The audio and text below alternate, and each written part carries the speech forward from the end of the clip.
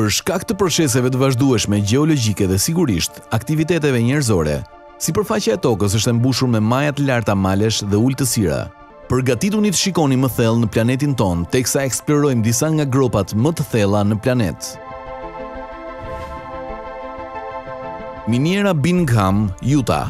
E ndodhur në jug-perëndim të maleve Kira të Utah, Kanioni Bingham është miniera e hapur më e thellë në botë. Që kur filloi të operonte në vitin një mijë e nëntëqind e gjashtë, besohet të ketë prodhuar sasinë më të madhe të bakrit se çdo minierë tjetër në botë, me një sasi që mendohet të jetë rreth nëntëmbëdhjetë milionë tonë. Mineralet në këtë zonë u zbuluan për herë të parë në një mijë e tetëqind e dyzet e tetë dhe njerëzit filluan t'i gërmojnë një dekadë më vonë. Por do të duhej të kalonin edhe dyzet vjet të tjera që punimet intensive të fillonin dhe që atëherë ka qenë në prodhim të vazhdueshëm. Dhe tani gropa është katër kilometra e gjerë dhe një pikë dy kilometër e thellë. Në total mbulon një sipërfaqe prej shtatë pikë shtatë kilometrash katror dhe është aq e rëndësishme për zonën sa që u shpall një monument kombëtar historik në një mijë e nëntëqind e gjashtëdhjetë e gjashtën. Si gropa artificiale më e madhe në botë, kanioni Bingham është i dukshëm nga hapësira dhe vazhdon të bëhet edhe më i madh. Më shumë se dy mijë punëtorë punojnë aty dhe rreth katërqind e pesëdhjetë mijë ton material hiqet nga kjo gropë çdo ditë. Plani është që operacionet në këtë gropë të vazhdojnë të paktën deri në dy mijë e tridhjetën. Observatori Ice Cube Neutrino, Antarktidë. Sa më shumë që mësojmë rreth universit, Aq më shumë pyetje lindin rreth asaj se si funksionon gjithçka, dhe rezulton se një nga mundësitë më të mira që kemi për të mësuar rreth disa grimcave të panjohura është një laborator në Antarktidë, në fundin e disa gropave artificiale thellë nën akull. I njohur si Observatori Ice Cube Neutrino, ndodhet në një stacion kërkimor në Polin e Jugut, i cili është i përbërë nga gjashtëdhjetë module sensorësh. secili i ulur në thellësi mes një mijë e katërqind e tridhjetë dhe dy mijë e katërqind e pesëdhjetë metra. Secila prej gropave u hap në akull me ujë të nxehtë dhe i gjithë projekti llogaritet të ketë kushtuar rreth dyqind e tetëdhjetë milionë dollarë. Grimcat të cilat është dizenjuar të zbulojë janë jashtëzakonisht të vështira për t'u gjetur, pasi rrallëherë ndërveprojnë me grimcat e tjera. Në kushte normale, triliona grimca të tilla kalojnë përmes tokës çdo minutë. Por ndonjëherë ndodh që ato të ndërveprojnë me molekulat e ujit të ngrirë.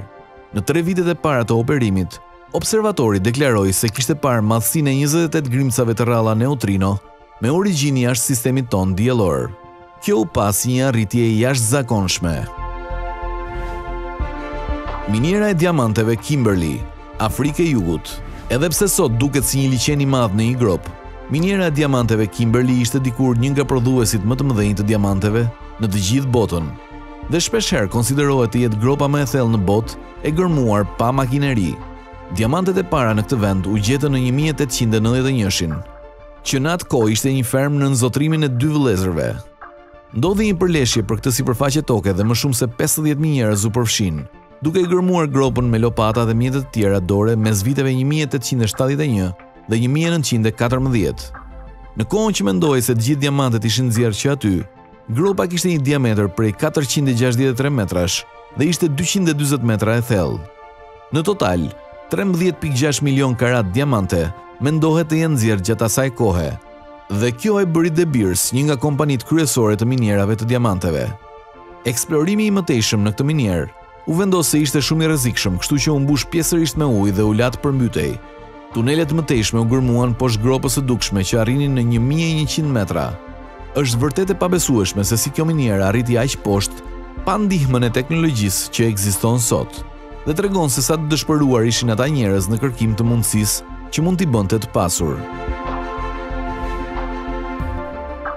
Programi gjerman i shpimit kontinental. Jo të gjitha gropat janë hapur domosdoshmërisht për të marrë minerale të vlefshme nga toka, dhe disa prej tyre janë hapur në emër të shkencës. Një prej tyre njihet si KTB Borehole dhe ishte pjesë e një programi gjerman shpimi. Ndodhur në qytetin e Bavarisë në Gjermani, ideja ishte të testonin mënyra të reja shpimi dhe të mësonin më shumë rreth kushteve poshtë kores së tokës. Puna në këtë gropë filloi në një mijë e nëntëqind e tetëdhjetë e shtatë-ën dhe në një mijë e nëntëqind e nëntëdhjetë e katër-ën kur kishte arritur një thellësi prej nëntë mijë e njëqind e një metrash, që është më thellë se sa lartësia e malit Everest. Ndërsa projekti nuk ia doli të arrinte bazën e pllakës kontinentale që ishte një prej objektivave, u pa gjerësisht si një sukses i madh, sidomos pasi kushtet të cilat u ndeshën ishin shumë ndryshe nga çfarë priteshin. Temperaturat u rritën shumë më shpejt dhe sasi të mëdha gazi dhe lëngjesh vazhdonin të mbushnin hapësirën e shpuar. Ndërsa studimet kishin parashikuar shkëmbinj që do të ishin shumë më të fortë për shkak të shtypjes së materialit që ndodhet mbi sipërfaqe. Pasi shpimi kishte mbaruar, gropa u vendos të përdorej për një qëllim të ri. Studiuesit instaluan një seri sensorësh sizmikë thellë brenda saj, që do të përdoreshin për të parë diferencën mes leximeve atje dhe atyre në sipërfaqe.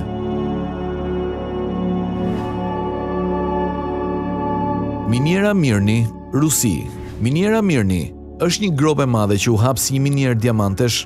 Ajo mund të gjendet pranë qytetit të Mirani në rajonin e Siberisë në Rusi.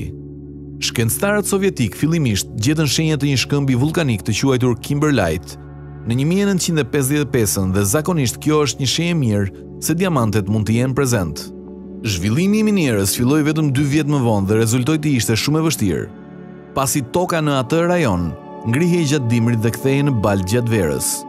Impiantet e përpunimit u desh të ndërtoheshin njëzet kilometër larg minierës, gjë që e reduktoi ndjeshëm produktivitetin. Megjithatë, gjatë kulmit të saj, dhjetë milionë karatë diamante po nxirreshin nga miniera çdo vit. Gërmimet e hapura mbaruan në vitin dy mijë e një. sapo kostoja filloi të tejkalonte fitimet nga diamantet. Në këtë kohë, miniera kishte arritur një diametër prej 1200 metrash dhe një thellësi prej 525 metrash.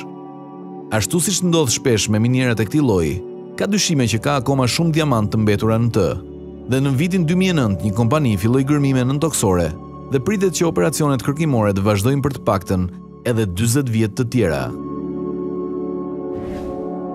Glomar Challenger Core Site, Kanali Mariana. Glomar Challenger ishte një anije shpimesh oqeanografike, që ishte pjesë e projektit Deep Sea Drilling, që operohej nga Shtetet e Bashkuara mes viteve 1968 dhe 1983. E pajisur me një kullë shpimi 43 metra të lartë, në kuvertën e saj, ishte e aftë të shponte thellë në dyshemenë e oqeanit, dhe detyra e saj ishte të merrte më shumë informacion rreth pllakave tektonike. Anija shpoi në disa qindra vende të ndryshme anembanë botës, por dy prej këtyre shpimeve ishin më të pazakontët. Kjo sepse ato shpime u kryen në kanalin Mariana që është vendi më i thellë në planet.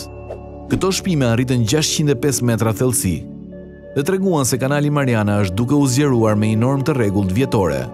Puna e kryer nga Glomar Challenger mbetet një nga më ambiciozet që është realizuar ndonjëherë në oqeanografi. Gropat e hapura në kanalin Mariana mbeten edhe sot ndër më të thellat të hapura ndonjëherë nga njeriu.